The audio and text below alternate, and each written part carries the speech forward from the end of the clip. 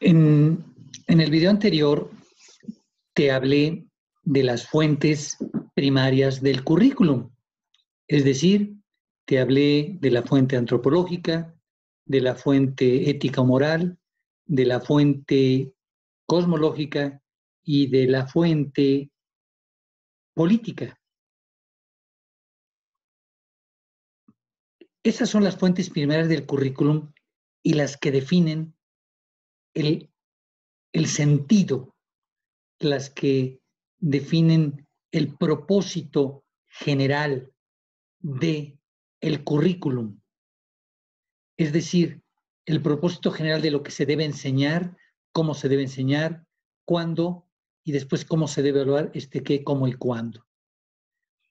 Pero también ese gran propósito que nos dieron las fuentes primarias del currículum se debe instrumentar. Es decir, necesitamos fuentes secundarias o fuentes técnicas que nos permiten llevar a la realidad eh, todo ese propósito curricular. Así que la primera de las fuentes técnicas es la fuente sociológica. Es decir, esto nos lleva a un análisis sociológico es decir, después de tener el gran propósito curricular, ¿qué concepto de sociedad tenemos? ¿A cuál se aspira? ¿Cuál es ese, ese gap, ese, esa diferencia que hay entre lo que se aspira y lo que se es? Y a partir de eso, establecer conocimientos, valores, normas y destrezas para ir transitando de la sociedad que se tiene ahorita a la sociedad que se pretende. De aquí se derivan conocimientos, valores, destrezas que el alumno tendrá que desarrollar para alcanzar el propósito del currículum, pero también para evitar la ruptura que puede haber entre el ideal que en el aula se le va a exponer y lo que está sucediendo en el entorno. Por eso es importante avisarle al estudiante desde pequeño que que no todo es color de rosa, que, que, hay, eh, que él está siendo educado para que eh, apoye ese proceso de, de cómo estamos al mejor deseo que pretendemos. Y él podrá verlo en su persona, podrá verlo en su comunidad y podrá verlo en las noticias del país y del mundo.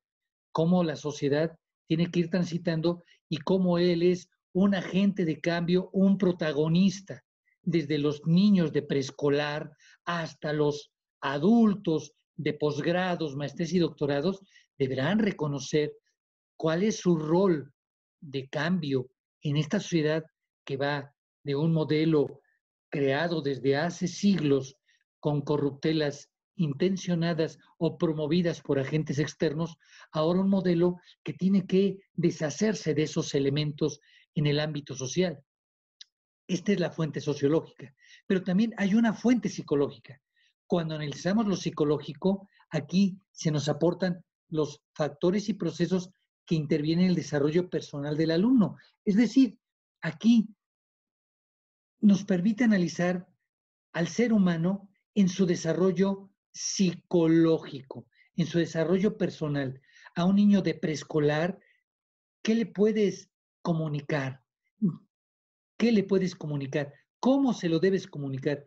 ¿Que le tienes que hablar de corrupción? Sí, pero ¿cómo tienes que hablarle de corrupción? Que le tienes que hablar de lucha, eh, de, valores, que tiene que luchar contra sí mismo, eh, contra sí mismo, el autodominio, eh, y que tiene que, cómo se lo tienes que enseñar, pero también tiene que ver que hay corrupción en el entorno, que se va a encontrar ahí mismo, en el salón, en la relación con los maestros, va a mirar cosas que no pueden, pueden ser no congruentes, pero él no tiene que desilusionarse. ¿Cuándo debe de enseñársele? ¿En qué etapa? Tanto al chico de preescolar, al de primaria, al de secundaria, al de bachillerato, porque las batallas contra, contra lo que son y lo que quieren ser son constantes pero este análisis psicológico nos permite ver en qué, eh, eh, en, qué aspecto del currículum, en qué componente colocarlo, cuándo colocarlo y cómo colocarlo, porque hay que considerar la evolución de la persona tanto en su núcleo social como en su desarrollo personal. Y ahora, ya explica la fuente sociológica y la fuente psicológica, vamos a ver, ok, ya tenemos muchos contenidos que debemos enseñar, muchos contenidos, muchos valores, muchas destrezas, normas, habilidades, ya tenemos un gran propósito. Pero, a ver, viene el análisis epistemológico. Todo este conjunto de contenidos, todos estos qués, todos estos cómo, todos estos cuándo, cómo se tienen que organizar, cómo se deben de clasificar y organizarse. A ver, en preescolar se hablará de corrupción, sí, pero ¿qué se fomentará? En, primaria también, pero ¿qué se, qué se fomentará? En bachillerato, en, en posgrado, en educación superior, se tratará en todos corrupción, pero ¿cómo se va a fomentar?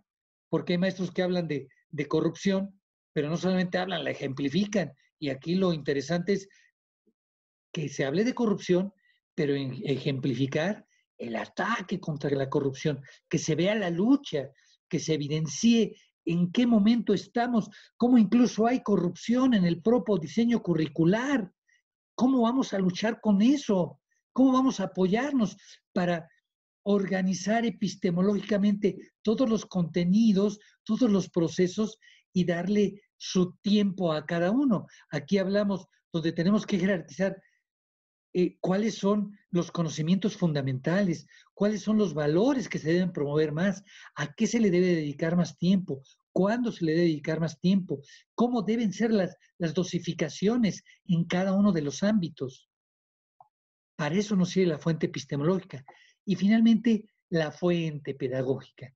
Esta fuente pedagógica nos lleva, por supuesto, a organizar en la escuela, en los diferentes niveles educativos y después en los diferentes grados, cómo se va a concretar, cómo se va a concretar todo el propósito que nos dieron las fuentes primarias, más la forma que estas eh, fuentes secundarias o instrumentales, los elementos que nos han dado, cómo los vamos a concretar en el aula, en una sesión de clase, o los maestros que tienen sus reuniones semanales o mensuales, cómo lo van a concretar para que se cumpla el propósito. En esta parte, la fuente pedagógica se hace mucho análisis curricular, porque se hace el análisis a ver cuál es, qué es lo que se planeó. ¿Lo planeado estuvo correcto o se puede hacer una adecuación? Ah, ¿qué es lo que se ejecutó? No, pues se ejecutó esto. ¿Se puede mejorar? ¿Hay que corregir? ¿Hay que hacer adecuación? Esto es lo que se tiene que considerar en las fuentes, en el análisis de las fuentes curriculares. Así, tenemos un análisis de fuentes curriculares que nos marca cuatro fuentes curriculares eh, primarias, que son la fuente antropológica, primera, segunda, la fuente ético-moral, tercera, la fuente cosmológica y cuarta, la fuente política. Y después tenemos las fuentes secundarias, como vemos aquí es la fuente sociológica, la fuente psicológica, la fuente epistemológica y aterrizamos, concretamos todos la fuente pedagógica, ya sea en un plan de estudios macro, en un plan de estudios meso, en un plan de estudios micro, y después hablamos de sesiones semanales, sesiones diarias que estarán en la planeación pedagógica. Bueno, hasta la próxima y a partir de estas fuentes puedes analizar tu proyecto.